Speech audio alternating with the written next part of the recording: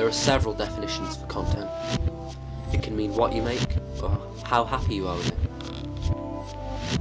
Finding the balance between the two takes time and effort. Too much focus on content, and you won't be happy with it. Too much focus on being content, and you'll never get anything done. Pushing ideas out of your head at the right pace, choosing the content that flickers behind my eyes, bandying about several times a second. The disappointment when the result is not what was imagined. My eyes both the camera and the projector, my ears both the subject and audience, a walking mirror, regurgitating whatever fits and keeping what works.